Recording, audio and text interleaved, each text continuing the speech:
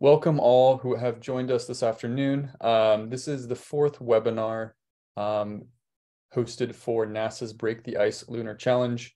Um, today will be focused mostly on presentations by our esteemed panelists, um, but I'll just kick things off very quickly with some housekeeping items and uh, a note of congratulations to our phase two level one winners. So today we will be hearing remarks by astronaut Don Thomas, as well as remarks from Carl Vanden Ordel of Anglo American, uh, and then we'll finish with Q&A and some closing remarks. Um, like past webinars, um, panelists will be able to speak. Um, we will, I will be share, sharing screen, um, but attendees will be unable to speak, but are welcome to participate through the Q&A feature. As I, as I mentioned, we'll be conducting Q&A at the end of the call. So you can submit your questions through that taskbar. Um, however, questions related to level two and level three should be sent to the challenge admin email and will not be addressed in this webinar. So the, the scope of the question should be more um, at the actual content uh, of the presentations today. Um, with that, um, we will be recording um, this and uploading to the breaktheicechallenge.com website. So you'll be able to find this recording um, on the resources and media page. Um, to, before we begin, we want to give a huge congratulations to the phase two level one winners. We received many innovative concepts, submissions, uh, technical designs, and we are now progressing to the next stage of the challenge. Um, but we also want to say thank you to everyone who participated. Um, there was many innovative submissions, uh, and we are thrilled with the um, outcomes and the solutions and the ideas that the entire community has contributed. Um, so again, thanks to all and, and congratulations to the phase two level one winners. With that, I can pass it over to Don Thomas. Don, take it away. Thank you. And I, I think I need you to enable my video.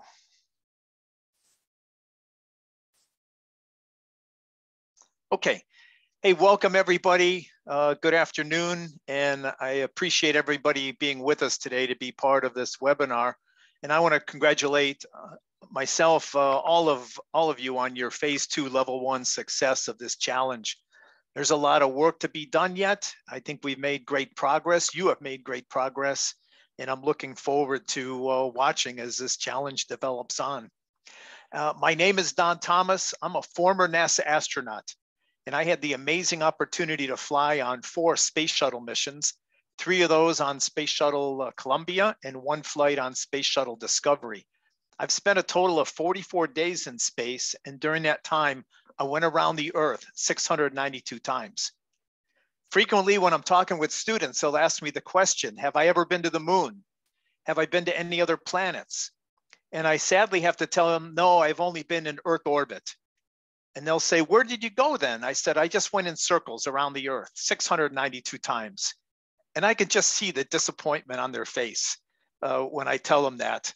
But next slide, we are going, we are leaving Earth orbit and heading uh, deeper into space once again using our new space launch system rocket. We just had the Artemis 1 mission launching in mid November, as I'm sure you're all aware of and uh, orbited the moon, came back last month in December. All indications are the mission was a great success, and that's going to open the door for us to do Artemis 2 missions, you know, sending uh, astronauts in orbit around the moon, and then the Artemis 3 mission landing two astronauts on the south pole of the moon. So there's a lot of excitement coming up for us all. Next. So we're heading back to the moon. We've been there before. Back in uh, when I was in high school, we landed on the moon six times. 12 humans have walked on the moon, 24 people, humans have orbited the moon, and we're heading back. And it's a familiar area for, for us. We see it frequently in the night sky. And uh, but you have to remember this is far away. It's a quarter of a million miles away, and it's about a two to three day trip to get there. For me going on the space shuttle to get to Earth orbit, it was eight and a half minutes. But here we're talking about three days getting to the moon. And when we go, next slide, we're going to start building bases on the moon. Maybe the early designs will be a, a buried habitat, burying it in the lunar regolith to protect us from the radiation and to protect us from the thermal you know, extremes on the surface of the moon. But eventually, next slide, we'll be building larger and larger colonies, maybe something like this in the future. And these missions are going to present huge challenges, even bigger than the ones we've already faced as, at NASA during our 60 some year history already. Next slide. During the Apollo program, I think you're all familiar with Apollo 13. And as the crew was heading to the moon, about halfway between the Earth and the moon, there was an explosion in one of the oxygen tanks, a catastrophic event and uh, the astronauts were losing their oxygen. The fuel cells used to generate the electricity were shutting down. And this presented a huge, huge challenge for NASA. And it took a, uh, an incredible team of people in mission control uh, representing the NASA folks, contractors, university people from across the United States and around the world to bring these astronauts back home safely. Next. One of the big challenges on this mission was that the carbon dioxide levels inside the lunar module were building up higher and higher. They only had limited amount of carbon dioxide scrubbing material available in the lunar module. We use lithium hydroxide in space. And the command module used uh, square canisters and the lunar module used round canisters. And very uh, shortly, you know, into this mission, when they're trying to bring the astronauts home, they were running out of the round canisters for the lunar module. And so uh, again, this is another opportunity for an incredible creative team on the ground to come up with solutions. How can we get a square lithium hydroxide canister to work in the round hole of the lunar module? And uh, they were able to accomplish this and it helped bring our crew back safely to Earth as well. So this is, again, creative thinking by the teams on the ground to help protect the astronauts and save the mission. Okay, next. During our Skylab space station, we also had challenges. As we launched the Skylab uh, space station module uh, during launch, one of the solar panels got ripped off during launch. It also, in that process, it ripped off one of the micrometeorite shields and some of the thermal insulation around our space station. So as soon as the Skylab had got to orbit, temperatures inside the Skylab started to soar well over 100 degrees, which made it uninhabitable for the astronauts. So again, we had a creative group of people on the ground, you know, forming like a tiger team, coming up with how can we solve this problem? How can we come up with a fix? And they came up with a pretty quick, uh, unique solution, I thought. It was a parasol. So it's like a giant beach umbrella. And they could poke this through an airlock in the side of the uh, module and then they could open it up like an umbrella and bring it down. And the shade that this provided immediately brought the temperatures down within the uh, Skylab space station, made it habitable for the astronauts to perform their missions. Next. And once they got the parasol up there, then our engineering teams, you know, had more time to develop a, a longer term, more robust solution, which you see here, just another you know, sunshade that went on top of the original parasol. But again, creative thinking on the ground, you know, helped save this mission. Next. So NASA does an outstanding job of being prepared for failures in general. You know, it only takes eight and a half minutes for the space shuttle to get to orbit, but I trained for hundreds of hours in the simulator, practicing what to do if one of the engines should shut down, or if we lose communication or we lose power, for events like that, we're fully prepared. But even with all this training and preparation, these unexpected challenges, like what happened in Apollo 13 and Skylab, they're going to occur. And this creative and diverse thinking is often going to be required to overcome these challenges. Okay, next. So with our new uh, Artemis and Space Launch System rockets, we're going to the moon. That's what we're here to discuss today. But we're not stopping there. We're, we have plans to go on to visit asteroids and go on to the planet Mars and go even deeper than that in space. Okay, next. So let me talk a minute about Mars. This is a destination that, that's in our future as well. Next slide. You know, Mars is a unique uh, planet. Three and a half billion years ago, oceans covered 36% of the surface of Mars. It was very much a twin planet to, to planet Earth. Next. But from our rovers today, traveling around Mars, we know Mars today is just a barren, dry, desolate uh, desert area, as shown in this picture. No sign of any surface water at all. Next. But in 2008, we landed a spacecraft on Mars called the Phoenix. And it only operated three months before the Martian winter came and we lost communication and power to, to our lander. But the most significant discovery from the Phoenix was it discovered water ice on Mars. Next. It had an arm with a scoop on the end, and it was able to dig small trenches on Mars. And it dug a trench that you see here on the left, and there were some small whitish particles that you see there with the arrows pointing to them. Four days later, they looked at that same area and those white particles were gone, which led the scientists to conclude that that is water ice that is sublimated and evaporated away. So for the first time, we knew for sure we've got water ice on Mars.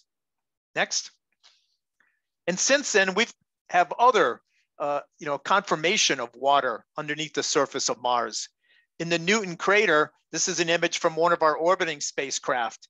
You see these dark streaks coming down. And these are potential water flows from ice melt during the Martian summer. You know, it's only during the summer that the temperatures get above freezing on Mars. It's quite a cold environment. But during the summer months, you can see some of these streaks that are probably most likely from water, ice melting into water. Next. An additional crater, this is the Hale crater. Uh, you see these dark streaks as well, you know, coming down. So again, there's more and more evidence that under the surface of Mars that we see, there's a lot of potential water ice there just waiting for us. Next. We've also discovered uh, buried ice fields on Mars. Next. And the Europeans, with one of their spacecraft, took these images of the Korolev crater on Mars. This is a massive crater, 51 miles or so across, and it contains over a mile thick layer of water ice. So these are such incredible resources that we know are on you know, the surface of Mars there that'll make it easier for our missions in the future. Okay, next. So just a reminder, we're going to the moon now, but we're also planning on going to Mars. This could be 10 years, 15 years, 20 years in the future. We don't have a, a specific deadline for this. It depends on budgets and other factors, but we'll be sending astronauts to the planet Mars. So I want to end with this last slide. Next. This is just a message that we need you. You know, we're designing th these new rockets and capsules and spacecraft and habitats, you know, and, and rovers for the planet Mars and, and the moon as well. But we're never going to get there. We're never going to accomplish these missions without teams like yourself helping us out get there. So, on behalf of all the astronauts, this is past, present, and future.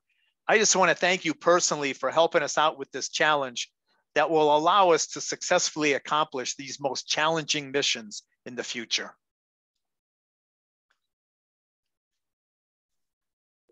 Excellent, Don. Thanks so much for those words. Um, I can go ahead and pass it over to Carl.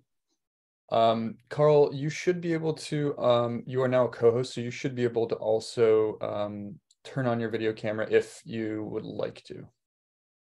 There you go. Awesome. Cool.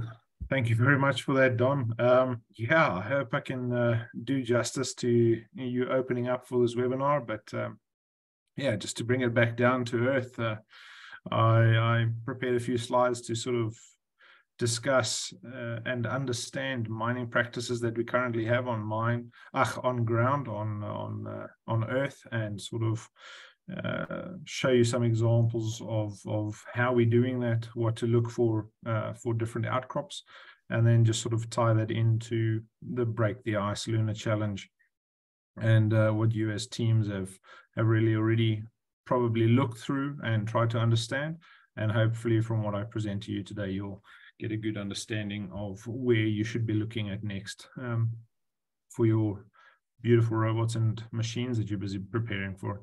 Uh, next, please. All right, myself, um, mechanical engineer, um, fantastically chose to go down that line, um, but landed up uh, in the mining industry, uh, going through Anglo American Platinum through the graduate scheme, and miraculously found myself um, at a mine that started in 2015 with productionizing proof of concept underground trackless mining machines. So instead of going and reaching for the stars, as Don did, um, yeah, went underground, uh, deep tunnels, dark tunnels, very small tunnels. Uh, but the really exciting thing was taking machines that hadn't uh, proven themselves or hadn't been proven in a mining environment and putting them through not only machine capabilities, but actually getting people trained up to operate them that had not been part of the design teams for those machines, which was really interesting and cool. Um, the next slide. And from there, uh, we made some great progresses with those new machines. And now I find myself working on uh, decarbonizing massive mining haul trucks. So these 300 ton ultra class haul trucks, um, Anglo American, we launched it last year in May 2022. And uh, yeah, that's been a massive highlight uh, for me in my career, but just also showing the different scales um, from nice small uh, machinery that's uh, 600 millimeters high um, to this massive uh, dump truck uh, that we have on the slides over here. Uh, next slide, please, Oliver. So why do we need mining? Um, ultimately, um, without mining uh, on the earth today, um, we, our society probably would not have developed at the rate and the pace that it's done to date. just some graphics at the bottom uh, left of the screen there, uh, just sort of indicating that, you know, it's predicted that population rise will still increase. Um, but with that increase uh, in the future, uh, the need for industrial minerals will increase with that. And we'll get to the next slide just now uh, to, so to show sort of why and, and where do these minerals go into. But have you ever looked on the ingredients on a packet of chips um, or crisps, uh, as you might call them, um, and gotten a little bit of a fright to what's in them? Uh, a cell phone is no different. Any technology, uh, probably the monitor that you're looking on or a nice Apple product that you're sitting in front of, has got the same sort of uh, ingredient lists to it. And, and as an example, um, roughly on this little cell phone image that we have here, 15 minerals are used in the manufacture, um, or not in the manufacture, but actually used in the product to get to that workable product at the end. And of those 15 minerals, uh, you can find them in about 12 ore bodies. Um, and those ore bodies, unfortunately, are not down the road, uh, not on a little farm nearby you. They're all over the world. Um, and at the moment, some of them are extremely difficult to find and difficult to mine and uh, hence why uh, some of the, the, NASA team is really looking to get mining out, uh, not only on Earth, but um, on other planets and obviously moons and asteroids around us. But anyways, getting back to it, um, and you can go to the next slide, please, Oliver. You get multiple um, minerals that come from different ore bodies, but are all unique in their way on how they formed and where they came from within the Earth's crust and, well, leading from the magma. And as an example, uh, this table that's on the screen there, uh, you got the group of elements um, on the left hand side and examples of those elements on the right hand side. And metallic, semi metallic elements, uh, you get basically two ore bodies that you'd normally find those in. Um, that have come from a, a high heat environment, so um, from magma uh, down in the um, Earth's or below the crust, coming out through to Earth's surface. Uh, you'll find definite uh, gold, silver, and copper uh, type ore bodies that came from a melted product. Non-metallic elements, potassium, sodium, phosphorus, they tend gen generally, sorry, um, come mixed within other elements, um, but you also do find bodies where it's a homogeneous type formation. Uh, think of salt mines um, and that sort of uh, those sort of things. Gems, diamond spheres, they also come from high heat, high pressure environments. But what we'll get to on the next slide is it's a mixture of elements um, and basically how those elements formed uh, within that crust uh, where they came from. And this next slide sort of shows uh, a crosscut of the Earth's crust and sort of how some of those forms and flows um, represent themselves. Uh, these predominantly from um, uh, the magma, obviously pushing through differently through faults, sorry, faults, um, transfer boundaries, plate boundaries within the Earth's crust, and those interactions of those plates, obviously creating pressures and inducing cracks through which um, high pressure magma, magma can push through, and then that forming within uh, uh, the ground and, and the mining environments in which we do go and look for those minerals and elements. The next slide. So, okay, cool. Um, sorry, I'm just noticing that it's just shifted, but that's awesome. Um, cool. Uh, three basically different types of forms that you get. Uh, the first is an igneous. So an igneous is generally a homogeneous type surface or, or sorry, um, body that has formed uh, generally from a high heat source. Uh, it's generally got large crystalline forms within it.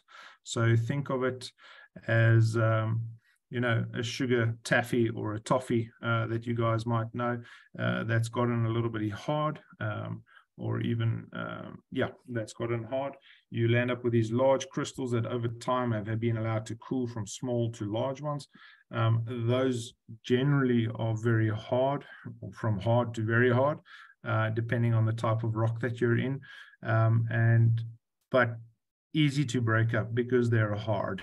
Um, so that's some type of rock. The middle image there, that's sedimentary deposits. So that's been a flow, uh, normally induced by water flow or um, wind, uh, generally taking smaller, harder rocks that may have been coming from an igneous uh, type background and with softer materials that had flowed within have settled down into uh, that sedimentary deposit and that formation. Extracting rock in that form can be relatively easy. Um, you'll need to figure out and obviously um, place loads at certain points on the softer material to break out the harder material, but it's generally easier to handle. Um, underground deposits in that formation are extremely difficult to mine through for a safety of persons aspects, but uh, really really easy to mine that material out. And then the image on the uh, far left-hand side, that's a metamorphic. So that's a an igneous rock that went through another formative or metamorphic change. Say uh, there was an igneous rock formation and an asteroid, uh, or at least a, a star or whatever, uh, came from um, outer space and hit the Earth, uh, forming a crater.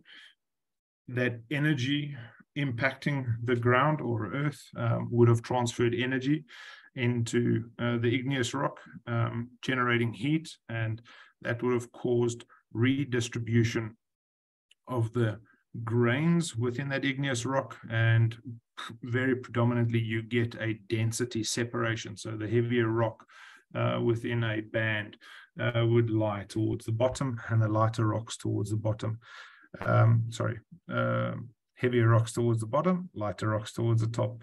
And that's predominantly what a lot of underground mining environments follow is a seam that has formed as a result of this metamorphic transformation.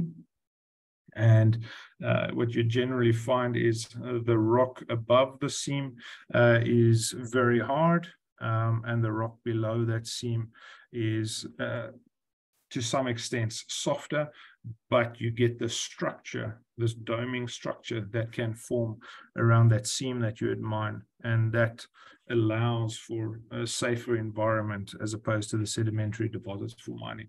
You can go to the next slide.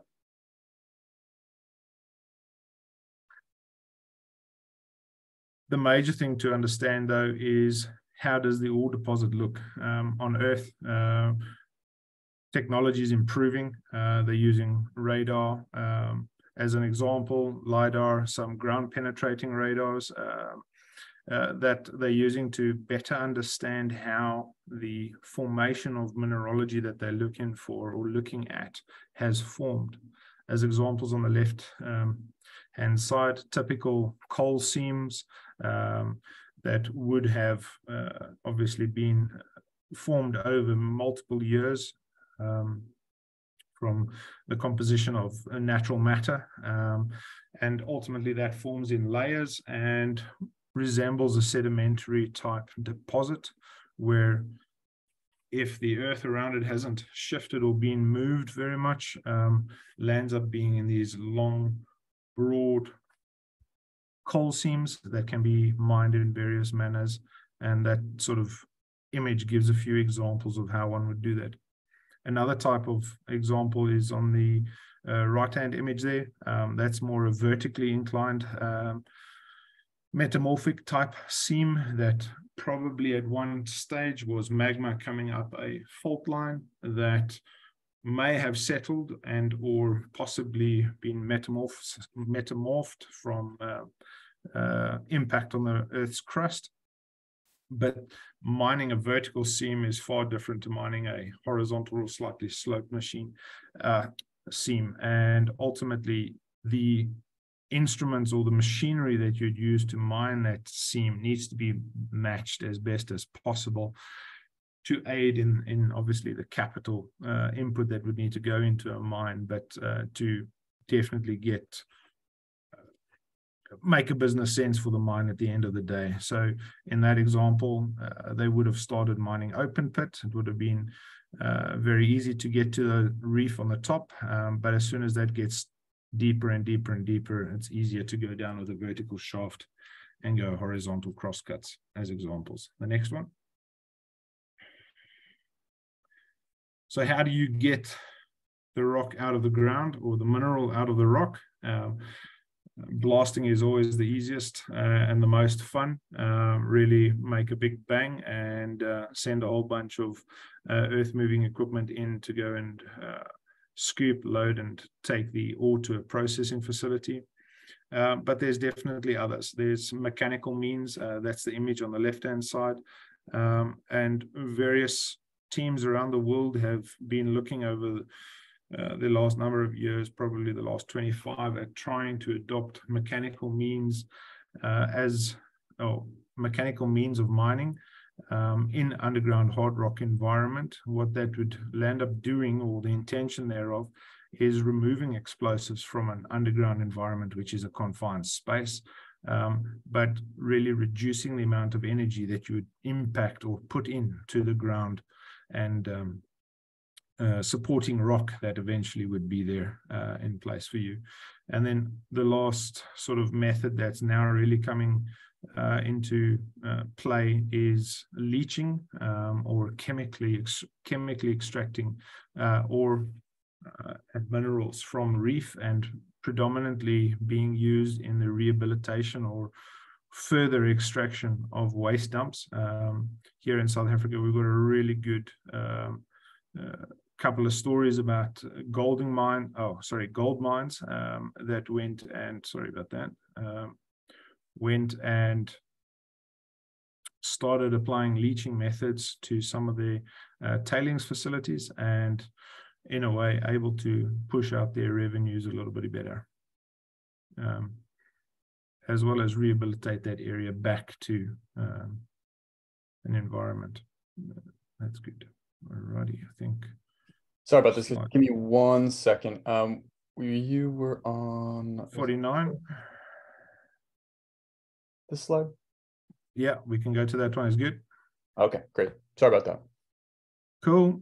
Um, and that sort of slide talks to, you know, mining is brilliant and it's fantastic, and the and the challenges that we have with it, uh, not only from uh, you know, understanding machines and how machines work, and and from an engineering perspective, maintaining those machines, but also the geology around uh, mineral deposits.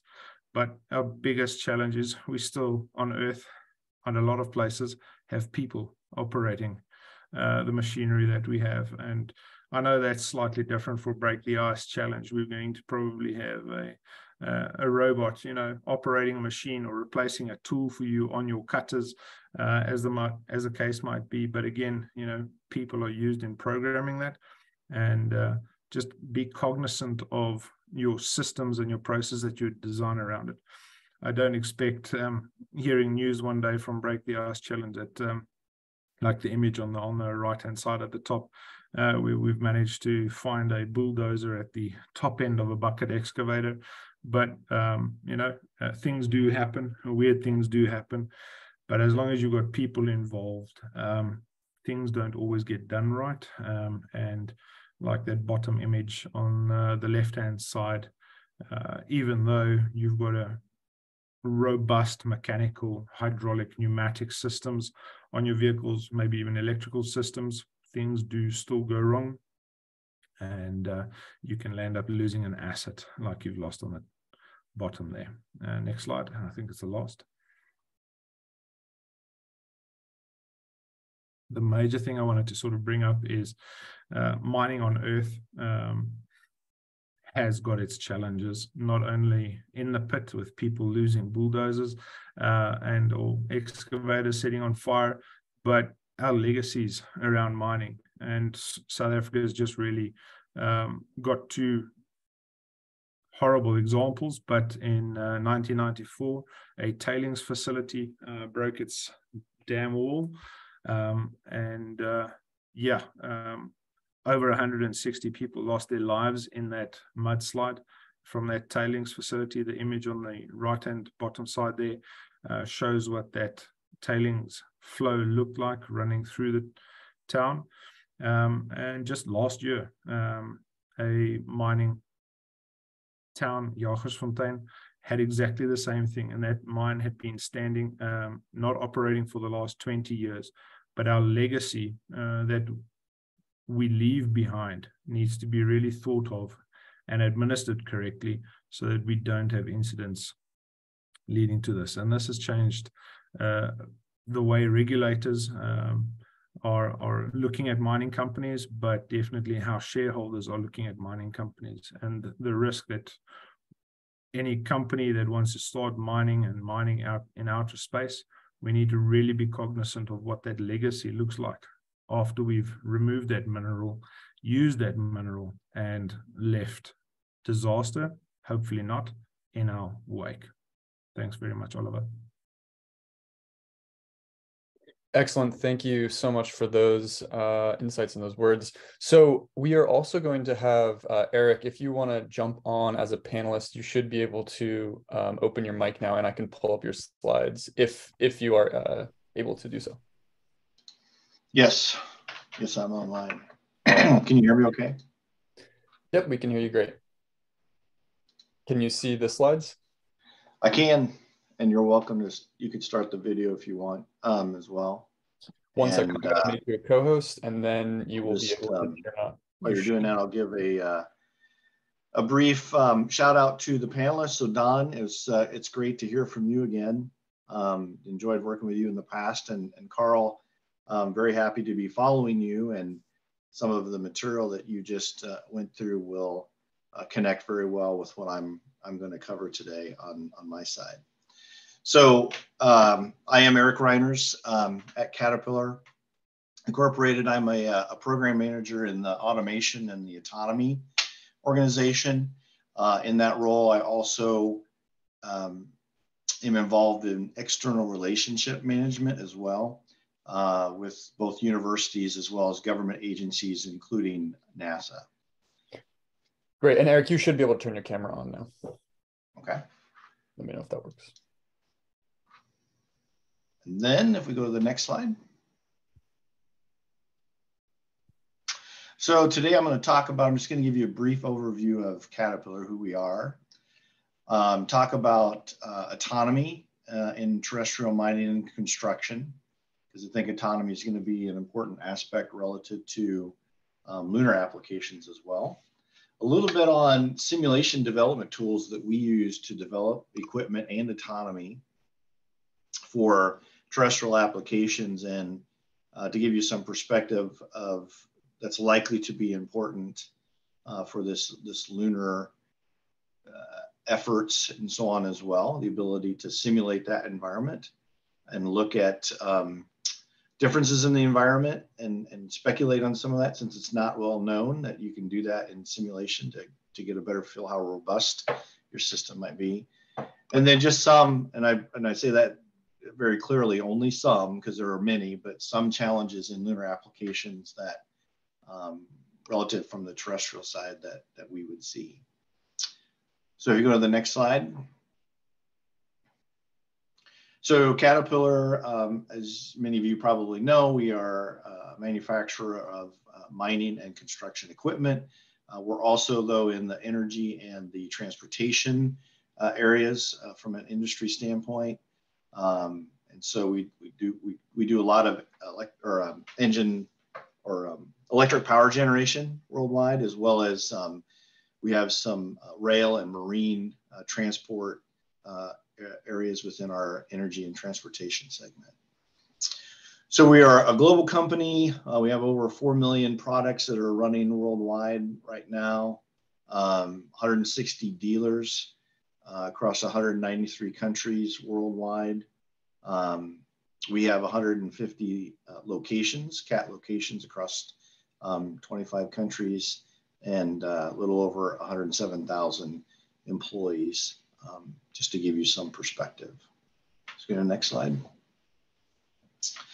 So we at Caterpillar, as you can imagine, there's a lot of technology development that occurs in order to produce the products that we provide to the mining industry, the construction industry, et cetera. Um, but there are some areas where we are having uh, an increased or, or very strong focus. And those are in autonomy, uh, connectivity, and electrification, or what we refer to internally as the ACE um, technologies. And um, today I'm going to focus on the autonomy aspect uh, of that technology focus. So if you go to the next slide. So we've been working in this area of autonomy for quite some time, quite a long time. Um, and some of that involves uh, relationship and, and work with NASA.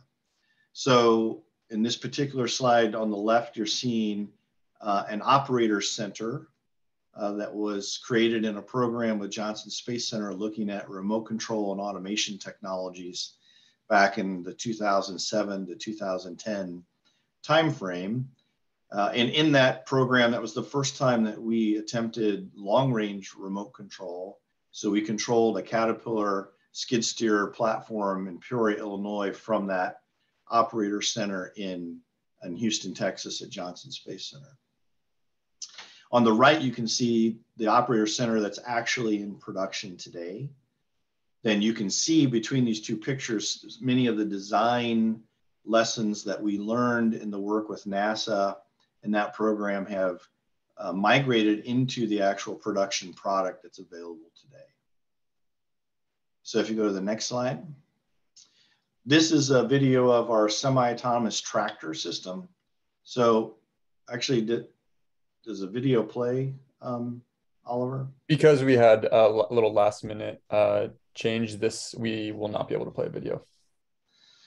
Okay, well, what you would see would be a video of these dozers operating in this overburden removal um, application. And so, and the operator is really more of now a supervisor and he's sitting in the operator station that you saw in the previous slide in this specific example about 10 kilometers away but he could be a thousand kilometers away and he can take direct control of any one of these of these dozers and he's able to do three to five of them he can take direct control of those dozers and do some work with them to set up the task and then assign the task to the dozer and then turn it over to autonomous um, execution. And then he can monitor them as they're executing those tasks and then again take direct control again if the dozer is incurring some sort of a, an exception that the autonomy system doesn't know how to handle they'll take direct control deal with that situation then turn it back over to autonomous control. So you go to the next slide.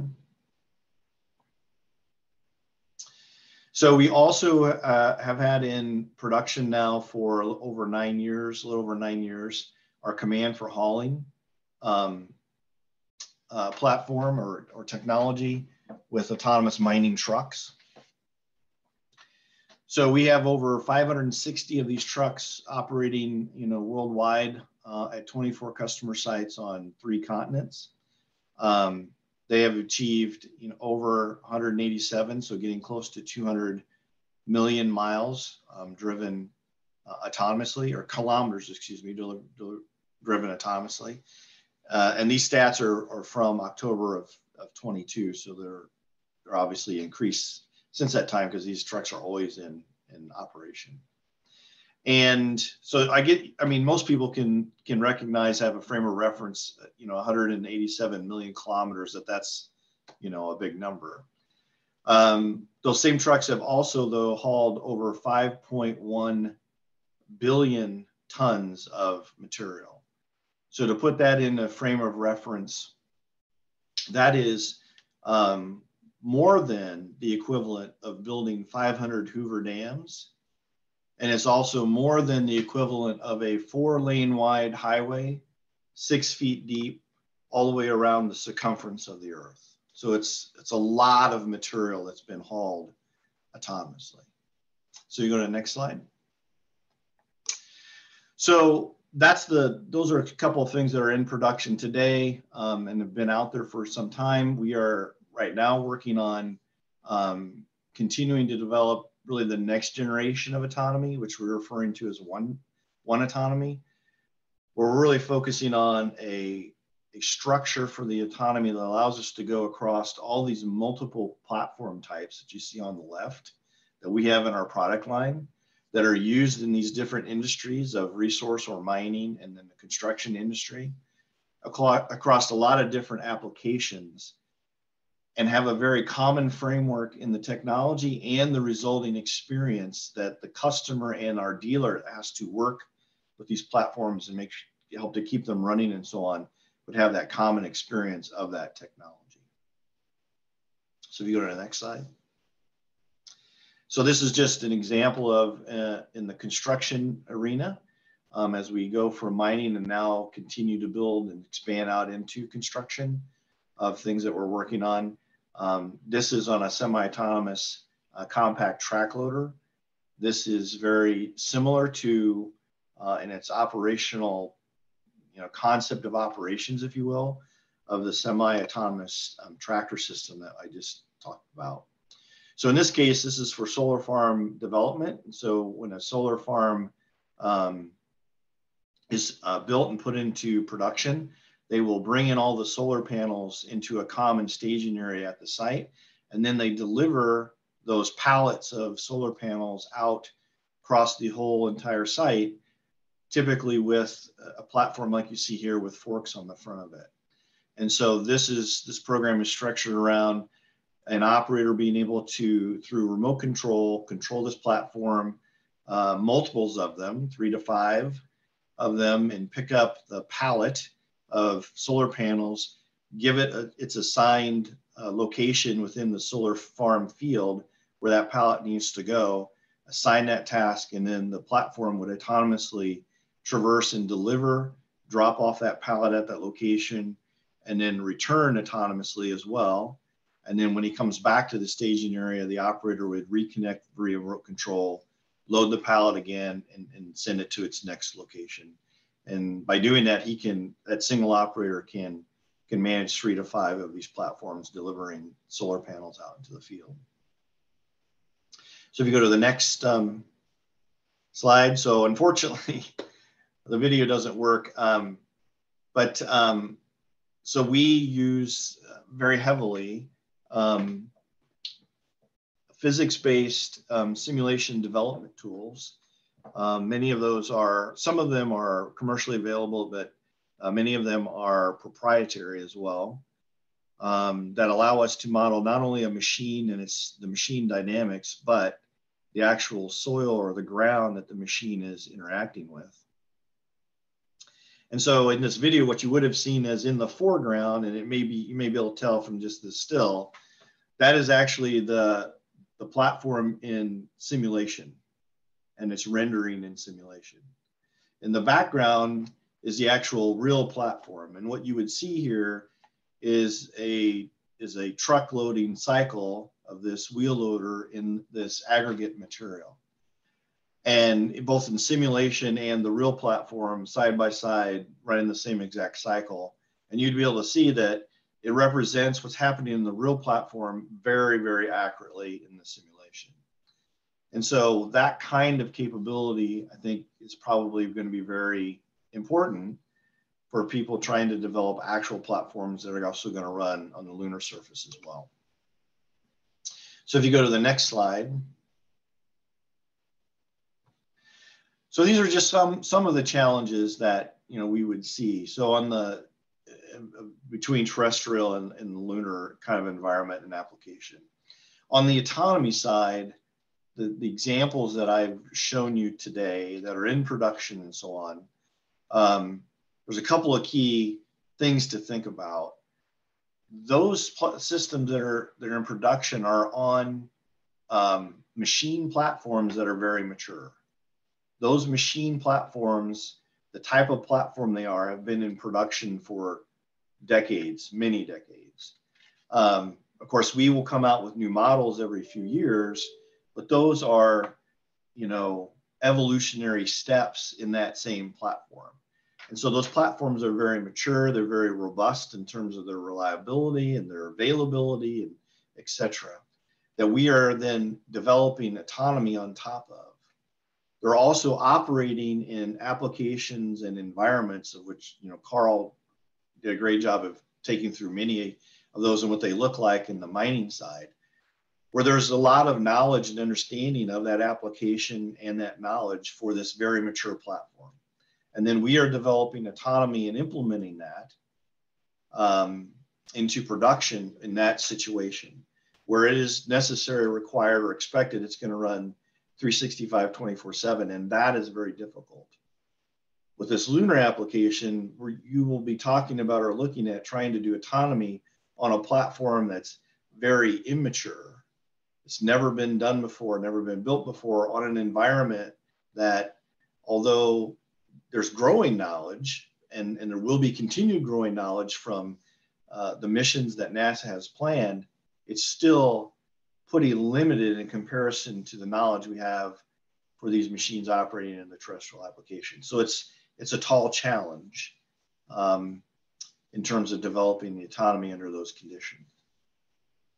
Another one that um, I've seen, um, you know, in, in terms of NASA and, and, so on, some level of focus, but probably far less uh, than I've seen relative to dust, but is in the area of equipment wear.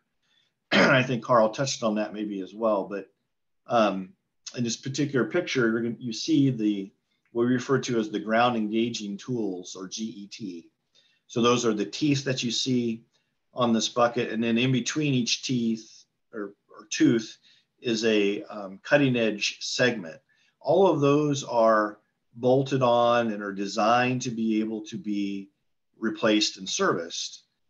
Um, and in a mining application, it's it's not uncommon at all that those would have to be changed maybe on a weekly basis and in some extreme cases, it can be much shorter periods of time even than that. Now, I, mean, I guess I'm not expecting necessarily that level of frequency or wear rate um, for some of the platforms that you're looking at because the size of them and the amount of force that they can generate relative to the material being used is, is different than these very large pieces of equipment. But nonetheless, I think understanding the equipment wear uh, and what how you're going to approach that from a mission operation standpoint is just another area of challenge that that needs to be looked at. And I think Oliver, that was my last slide.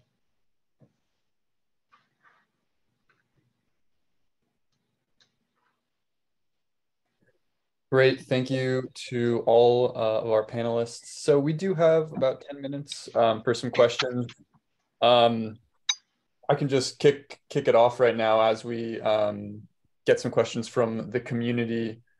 Um, Don, this one's directed towards you. What are you looking forward most excited about um, for space exploration at large?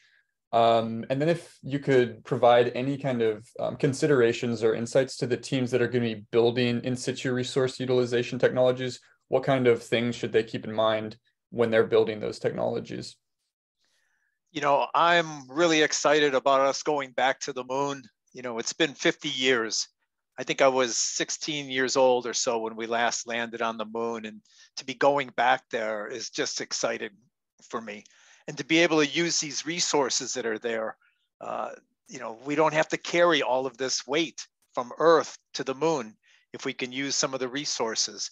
You know, water is like eight eight uh, pounds a gallon, and the average human uses something like 80 to 100 gallons of water a day. So think about all the uh, the weight that we can save by using you know water found on the moon there. So I'm really excited about this opportunity.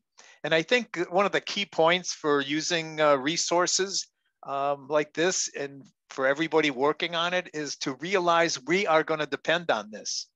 We're not going to carry all that water with us. And again, these missions won't be successful if we can't find a way to utilize these resources there. So it becomes really a, critical, a key uh, point, a key part of our uh, programs in the future. So as you're thinking through this, as you're working through the challenges, you know, let me just tell you, the astronauts are depending on you. We will need these resources there. So make sure I have a glass of water to drink before I go to bed at night. Awesome. Um, so here's another question. I think this also might be directed at more at Eric and Carl. So what are your views on the dust protection and removal of materials, uh, essentially due to the temperature uh, being harsh um, in in on the lunar surface? Well, I mean, so it's not an area that you know obviously we've studied in depth, but just my uh, interaction with others, uh, you know, in aerospace that are looking at this and, and so on. Um, in these deeply shaded or permanently shaded regions, craters, you know, it's extremely cold, and so material selection for the platform is probably going to be very important. And are you are, are you able to get to a material that can deal with the forces we're talking about, but not be super brittle at, at that extremely cold temperature, right? It's probably going to be a, an interesting challenge um, that has to be faced from a from a thermal standpoint um, in that environment. Dust dust is a problem here on Earth as well. I think it's maybe exaggerated on the lunar surface because it's such a small particle size. Um, so that'll be there'll be some challenges there on how do you seal joints up properly and and so on um, for these for these platforms and and deal with that. And certainly in the autonomy in the autonomy area, you know, dust is a problem or a, is an issue that we have to work through and understand terrestrially in, in mining environments. And to some degree, that's controlled, but you do get dust happening in there, and the perception systems that are, from an autonomy standpoint, um, have to be able to be, de- you know, to deal with that. And so, understanding even what the dust environment is really going to be like on the lunar surface, because there are some different mechanisms there with you know, the church, the surface gets charged and so it elevates the particles. And so once the dust gets in the air, does it fall back down or does it, does it just stay there for a long period of time? And so there's, there's a lot of things that have to be understood to even know how to approach it. Interesting. So this is kind of a, follow-on question to this. Um, another um, participant asked, so what is um, and again, kind of to Carl, um, Eric at large, what is your experience implementing LiDAR in a surface mining environment where it is expected that the equipment will be operating in a significant uh, cloud of dust? Yeah, so um, so the autonomous trucks that I, I talked about in uh, my presentation utilize both LiDAR and radar. and so there are some ways of understanding the dust environment by looking at both of those different types of sensors because LiDAR and radar have different pros and cons or capabilities. You know, things are strong in and things are weak in. That when you are using both in the same system, you can leverage those weaknesses and strengths um, with each other in order to help deal with and understand with the environment and if there's dust understand that and, be able to reject that from actual perception returns or things that are happening in the environment that um, you need to understand so you don't run into it or whatever the case may be but having multiple modalities of, of sensing can be important to help deal with that Awesome. Um, and kind of continuing along this line, um, Cat already has some autonomous mining software. What innovations are you hoping to see from this competition from a software perspective that might be of value? Um, well, I guess that remains to be seen. Um, I don't know how much in this first cycle with the testing that we're going to try to do terrestrially and so on that we'll see and understand you know, in those environments, dust and how people respond to that? Or are there some new potential ways of, of looking at that and that could be beneficial? Um, you know, some of this stuff is pretty the autonomy and then the, the details of it and the software are also pretty dependent upon the platform that it's that it's that you're working with and so on, which are going to be highly variant here. So it's it's difficult to predict, you know, what we'll see that um, that may be of interest.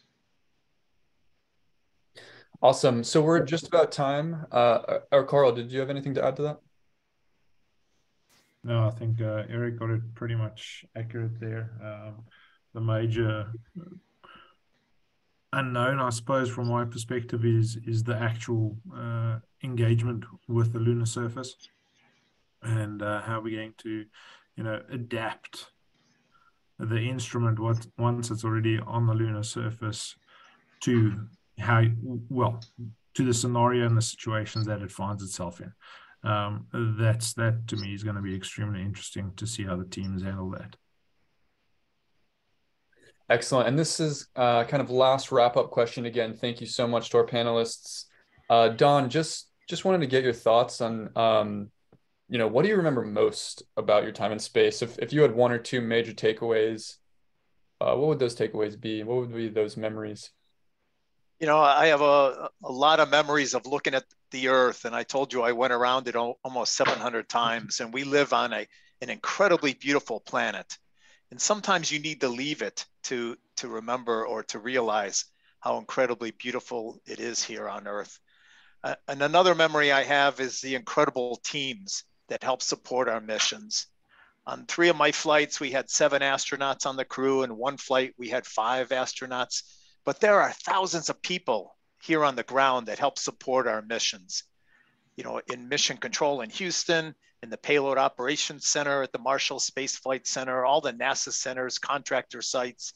It's an incredible team of people that work almost invisibly. You never see them, you see the astronauts on TV, but you never see all these other engineers and specialists. And they're a vital, vital part of our missions.